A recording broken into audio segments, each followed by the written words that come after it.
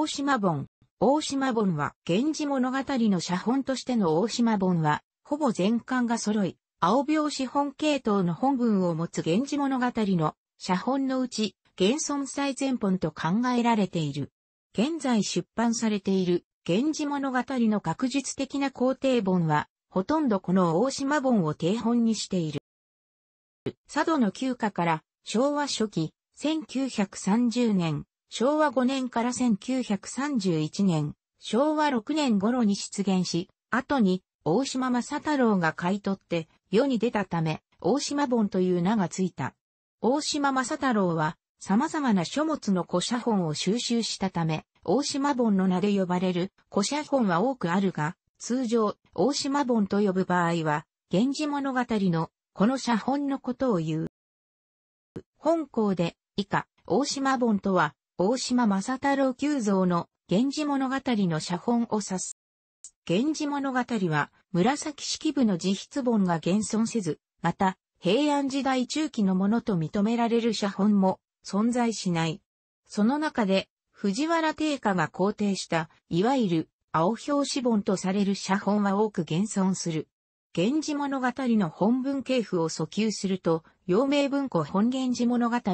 保坂本源氏物語等、別本の一部に個体を認める説もあるが、一般には、江戸時代以降、後半に流布した上、近代以降でも、池田機関、石田城に、安倍明夫らの示唆したように、現存源氏物語書本は、青拍子本原本に、本文系不訴求の限界を見る考えが、浸透していると言える。現存する青拍子本系統の写本の中で、藤原定家が肯定した本文は、藤原定家自筆本五条が現存する。ついで、定家自筆本を忠実に模したとされる、名優林も本八条が、優先順位、第2、3位に位置するのが、この大島本である。前二社は限られた帳しか現存しないが、大島本は、浮船帳を除くほぼ全巻が現存する点、及び本文特性の優位性において、出現以来、今日に至るまで、源氏物語書本中、最も重要な写本であるとされてきた。関や牧奥垣によれば、室町時代の苦行である、飛鳥井正康、1436年、永享8年、1509年、永正6年が、守護大名、大内正弘の求めに応じて1481年、文明13年に作成したとされる。応仁の乱によって京都が戦乱の地となり、古典石を含む多くの文化財が失われた中で、当時とから遠く離れた山口の地を拠点として、西国一の守護大名であった大内氏は、歴代当主が文化面でも拠点である山口が、西の京と呼ばれるのにふさわしくなるべく活動していた。正弘は、大内氏歴代当主の中でも最も多くの蔵書を確認できる人物であり、三条西実高や飛鳥井正康などに書者を依頼して、山口伝中文庫、大内文庫とも呼ばれる蔵書の充実を図っていた。大島本の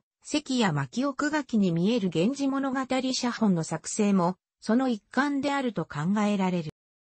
ただし、近年、一部の大島本に見える宮川なる印の有無と、綴り穴の高が相関性を有することから、現存本は複数の有筆によって、正康本、関や牧を含む吉見家画像の書本をそれぞれ書写し、揃いとした写本群であるという見解が提出された。厳密に言えば、正康本の転写と格言しうるのは、関や牧だけで、他の52条の書本の蘇生は不明ということになる。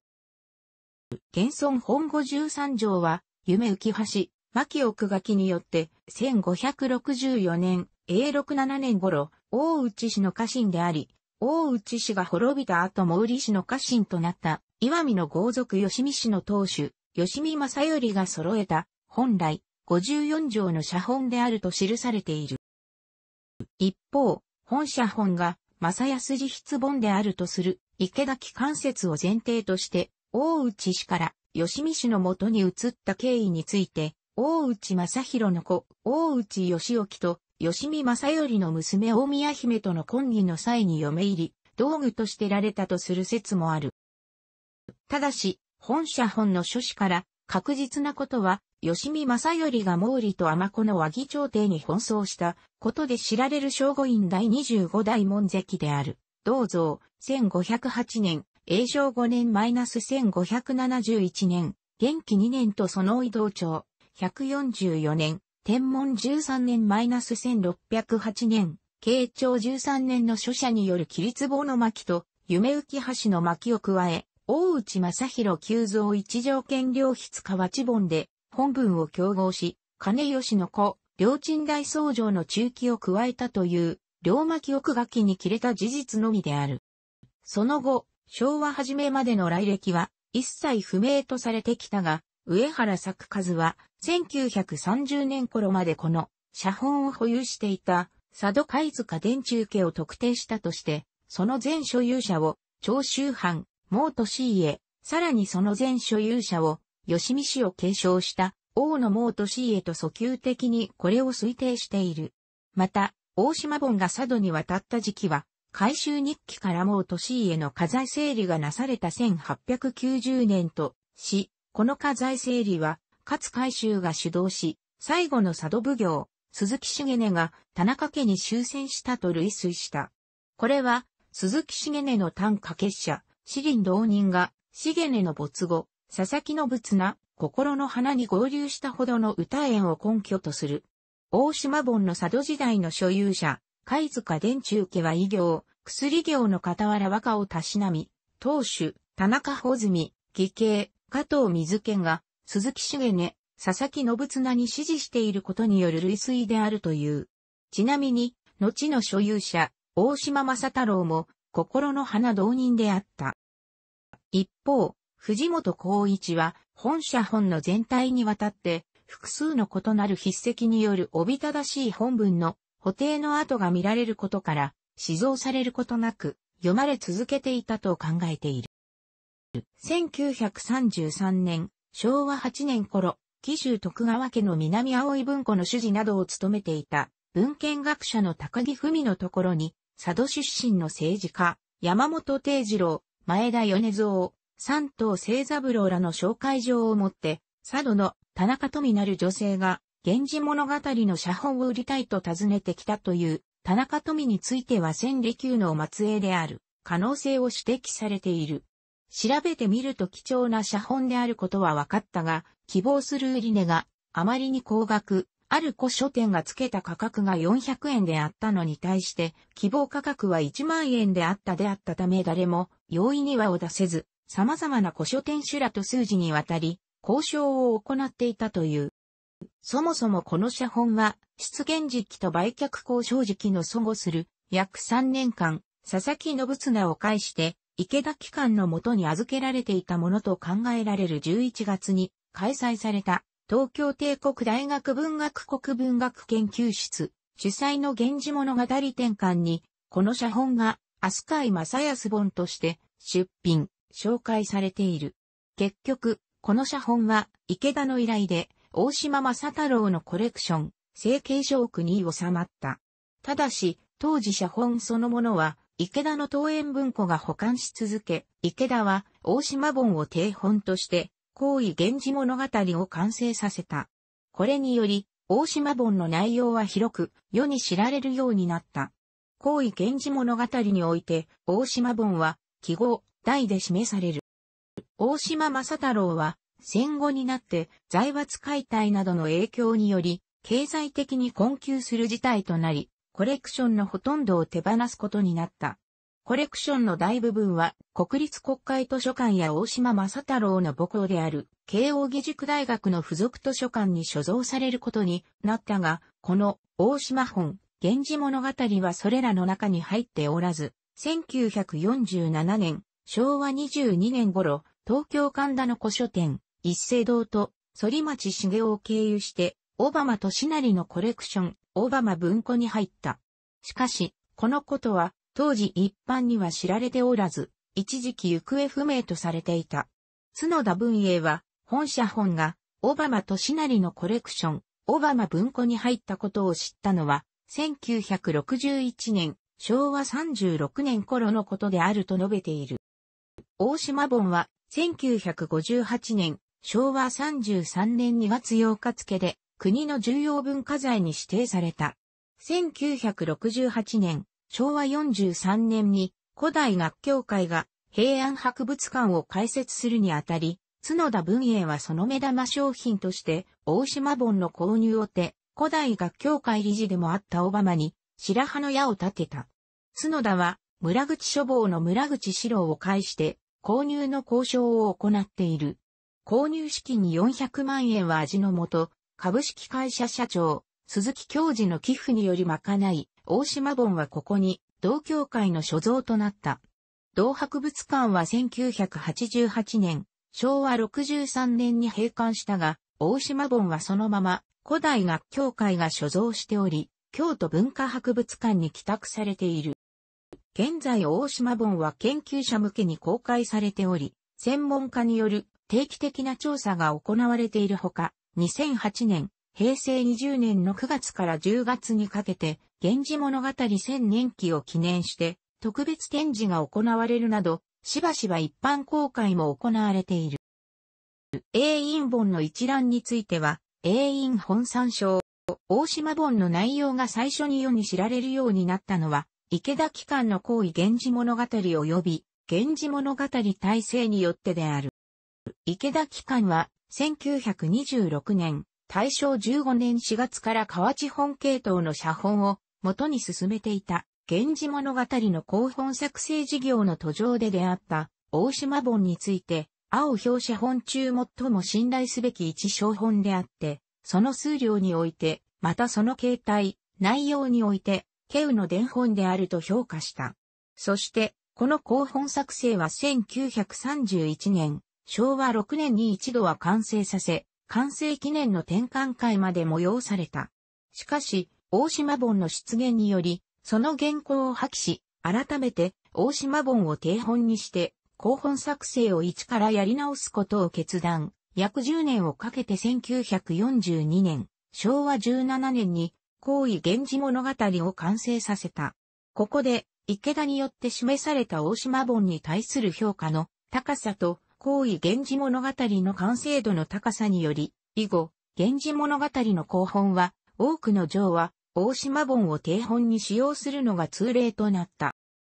しかし、大島本の本文には、ほぼ全長にわたって、大量、多彩な補定の跡が残る。これに対し、行為源氏物語及び、これを元にした、源氏物語体制行為編では、補定の存在自体ほとんど明らかにされていない。定本本文として本国されている本文にも、問題の指摘があり、補定前の本文をそのまま採用している部分もあるが、補定後の本文を採用している部分もあり、方針は一貫していない。このため、本来の大島本本文の全貌を再現できているとは言えず、現在では、源氏物語体制行為編の本文は、特に制度の高校本とは言い難い。源氏物語体制での保入や、訂正箇所についての行為の採用については、かなりの基準の曖昧さが残ると評されている。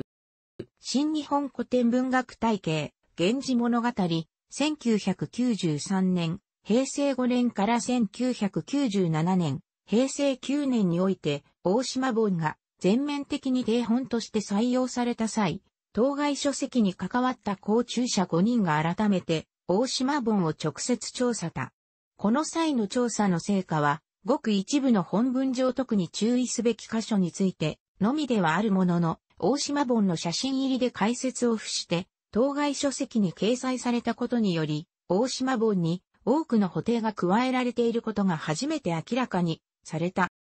1996年、平成8年には、全10巻、解説を収めた、別巻一巻付きからなる大島本の英印本が刊行された。これにより、大島本に存在する大量の補定作業の痕跡を全長にわたって容易に調べることが来るようになった。この撮影の際には、閉じ糸を切って各葉を完全に広げた形で撮影を行ったため、閉じ糸近くに存在したために、それまで見えなかったそばきの存在や、何度も綴り直したために、多いものでは一様に10箇所もの閉じ穴が存在することが明らかになった。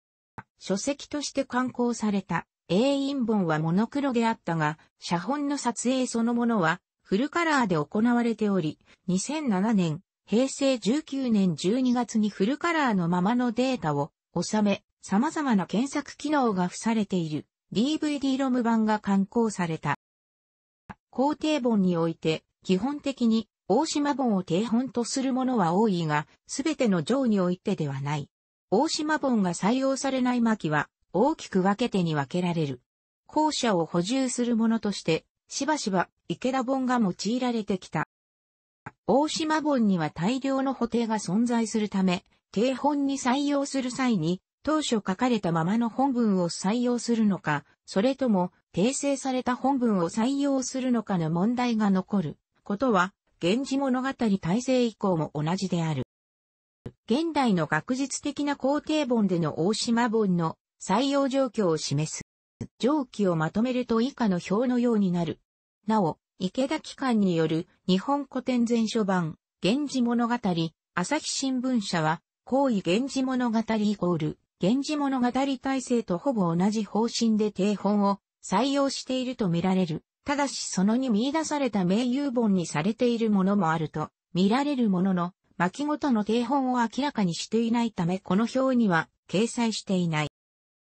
1999年、平成11年に出版された CD ロム、角川古典体感源氏物語、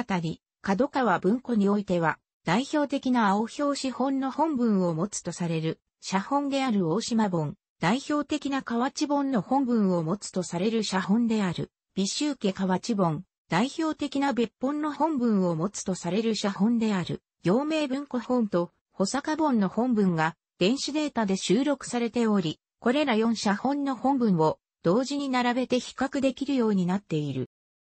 なお、別本を主体とする広本である、源氏物語別本修正、欧風においては、別本としての本文の位置づけを明らかにするために、代表的な青表紙本について全長にわたって対抗している。その際、代表的な青表紙本として、浮船を除いた若紫巻から夢浮橋巻までの49条については、大島本を使用している。残りの5条は、林母本以外も含む名優本を使用している。源氏物語の皇帝本、後本において、多くの巻において、大島本を定本とすることが主流となって、以後にも大島本を定本としないものも、以下のように若干作成されている。大島本は、池田機関以来、青表紙本として、極めて低下本に近い本文を持つとして知られてきた。ただし、初音帳のみ、別本系統であるとされてきた。詳しくは口述する通り、大島本の本文には全長の大部分のページにわたって大量の補定作業の痕跡が存在している。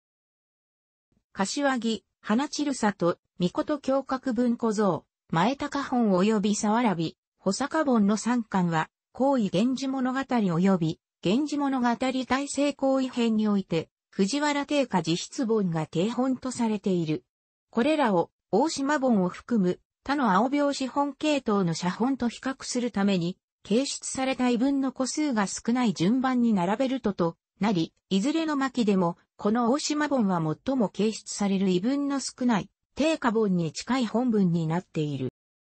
また、若投げ館で大島本を定本として、源氏物語体制に採用されている、書写本、採用されていない、書写本の異文形質数を少ない順に並べると、名優本106、小白本204、書領部、三条西下本232、大正学本242、日大三条西下本306、小鉄本333、横山本359、陽明文庫本378、榊原家本394、池田本453、たまり文庫本814、北二文庫本828となり、定価自筆本を、自型、自下げ等までそのまま書写たとされる名優本が、異文数が最も少ない。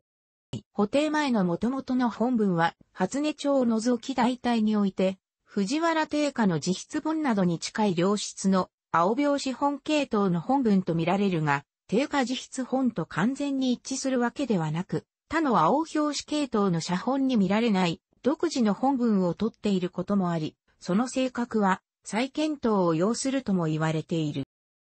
大島本に見られる工程の量は現存する写本の中でも最大級のものである。補定に使用している墨は墨筆と主筆とがあり、補定の手法も見せケチ、抹消、訂正、補入、そばきなど様々抹消の手段も塗り消、上から塗って消す、削消、削って消すなど様々であり、一つの箇所に何重にも補定が加えられていることも少なくない。また筆跡も様々であり、直された本文の系統も河内本系統の本文に直しているとみられるものと、青拍子本系統の本文に直しているとみられるものとが含まれている。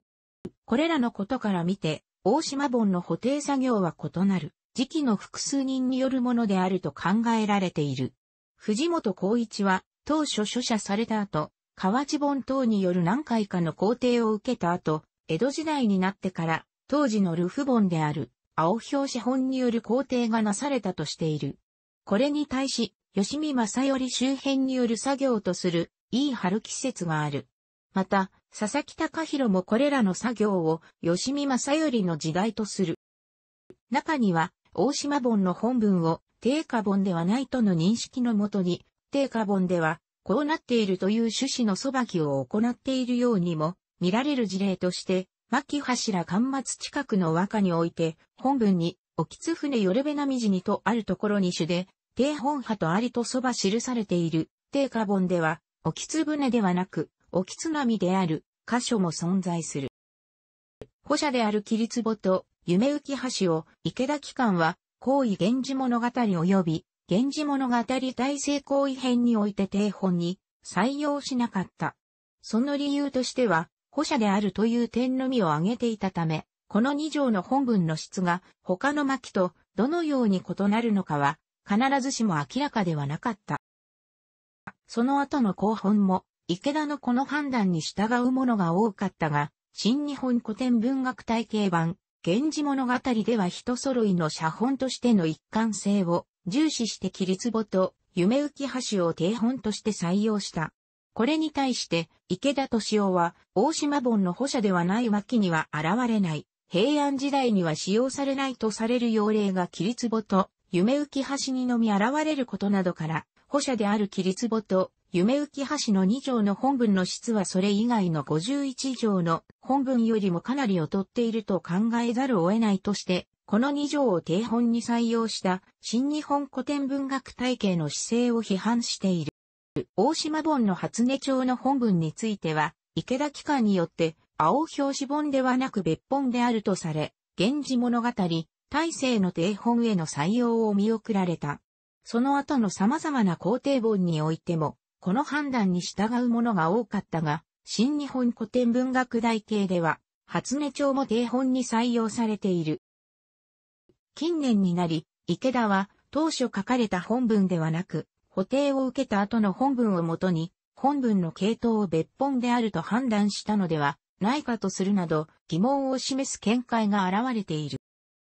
新潮日本古典修正版の源氏物語では、手習い巻の本文については、青表紙本としては、不純なところがあるとして、大島本を定本とはしていない。代わって、聖華堂文庫像で二条為氏筆本、行為源氏物語及び源氏物語体制に、写本記号にとして採用されているものを定本にしている。定価自筆本の現存する、柏木巻の巻末では、光源氏が、本当は自分の子ではなく柏木の子であるが、表向きは自分の子である薫が自分に這い寄ってくる場面で、青表紙本では這い寄ってくる薫を見て、どうしていいのかわからないという、戸惑っている場面で終わっているのに対して、河内本やいくつかの別本ではその後に抱いてみると、愛しさが湧いてきたいう長文の異文が存在することが知られていた。かつてこの大島本の本文は他の青表紙本と同じ終わり方をしているとされてきたが、近年になって大島本に対して詳細な調査が行われた際、この部分の量子に切り取られて別の紙が継がれた跡が存在することが明らかになった。この部分は当初は、河内本型の本文であり青病写本系統の写本にはない長文の異文が存在したが、その後に写本末尾が切り取られて、現在のような青標本型の本文になったのではないかとも考えられる。藤本光一は、この点は低カボンの変遷そのものを反映しているのであり、初期の低カボンには、この場所に現在の河内本やいくつかの別本と同じような長文の異文が存在したが、後に定価の判断によって削られたことにより、現在の、いわゆる、青表紙本ではこの部分が存在しないようになったので、あり、大島本のこの部分には当初は、初期の低カボンの形態であったものがご一般的な低カボンに合わせるために、食い先と呼ばれる方法で切除されたものであるとした。佐々木隆弘は、大島本の一部の巻にのみ見える、宮川なる印の有無に注目し、宮川なる印の有無と、綴り穴の高、筆跡や紙の違いなどが相関性を有するとして、現存する大島本は、の二つに大きく分けることができるとし、現在の大島本は、複数の有筆によって、飛鳥井正康書写本、関や巻を含む書本を書写したものであり、後に、これらを揃い本とした写本群であるという見解提出した。これに対して、藤本光一は、と反論した。両者の議論については、閉じ方も参照。山岸徳平は、いわゆる三条西下本の本文の方が、この大島本より、良質の青表紙本系の本文であるとして、1958年、昭和33年から岩波書店から出版された日本古典文学体系の源氏物語の本には三条西下本を採用した。しかし後にこれを否定する理解が広まってゆき、三条西下本が定本として使用されることはあまりなくなっていった。例えば1993年、平成5年から同じ岩波書店から出版された新日本古典文学体系の源氏物語においては、大島本を定本とした。浮船町のみを書いており、全54条中53条が現存している。もともとは54条揃っていたとみられるが、いつ頃どのような事情で1条だけ欠けたのかは不明である。大型の市販本で全て袋閉じ。現在の表層は紺色系統の深い青色のものであるが、これは原層そのものではなく、江戸時代前期から中期にかけて改造されたものと見られる。多くの補定があることは前述した。もともとは全長で一つの箱に重ねて入れられていたが、新日本古典文学体系の低本使用量が入った際、その低本使用量を使用して、選定保存技術保持者である前田雄斎によって保存のため一冊ずつり出せるような引き出しを備えた専用の文庫箱形式の4箱からなる切り製の収納箱が作成された。巻名についてはおおむね現在でも一般的な巻名を記している。ただし、橋姫の巻名についてはこの巻に初登場する宇治、八宮を属性として出家することなく、仏道に勤しんでいることから乳母足と称する子に由来している乳母足の異名で記されている。この異名は、白蔵詩に含まれる源の詩の目録、正確の源氏物語願文や両語の幻中類林、光源氏物語本寺、源氏63種の歌など成立時期の古いいくつかの資料にも見られるものであり、平安時代末期にはかなり有力な異名であったと見られる。藤原定家による源氏物語の注釈書、奥入り、第二次、自筆本でも28乳母足1名、橋姫と乳母足を先に記した上で現在では一般的な巻名である橋姫の方を1名として記している。切壺、関や夢浮橋の端末に奥書きがある。関山木の奥書きに飛鳥井正康筆とある。池田機関は、もともとは夢浮橋巻にあったもので、保写が行われた際に切り取られて、関山木に付けられたのであろうとした。この説に対して、佐々木隆弘は、奥書きは、もともと関山木のものであって、他の巻は別の写本を処分とする立場である。切り壺及び夢浮橋にある奥書きによって、この二条が飛鳥井正康らではなく、桐壺は銅像、夢浮橋は銅彫による保写であることがわかる。桐壺と夢浮橋のみ、別人の筆になっていることについて、池田機関は、家本としての価値を高めるためであろうとした。本、大島本は大部分の上末に第一次奥入りを有する。奥入りを有しない末期は、桐壺、花散る里、身を尽くし、関や、絵合わせ、初音、ホタル、常夏、かがり火、のわけ、幻、あずまや、影楼、夢浮き橋である。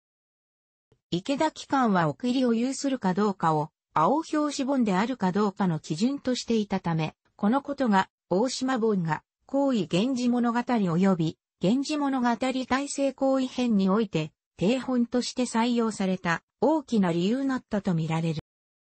大島本より書写時期が古く、池田が利用可能な形でまとまって伝来している青表紙本の写本として、池田本や横山本、こと教本が挙げられるが、池田本は奥入りを有する者の第一次、奥入りと第二次、奥入り混在し、奥入りを有しない巻もあるため、大島本に次ぐという評価を与えられて切り壺、夢浮橋、初音、浮船といった大島本に問題があるとされる、巻において定本に採用されて、その他の巻で、競合文の一つに採用されるにとどまり、横山本やこと教本は、奥入りを有しないため競合本文の一つとして採用されるにとどまった。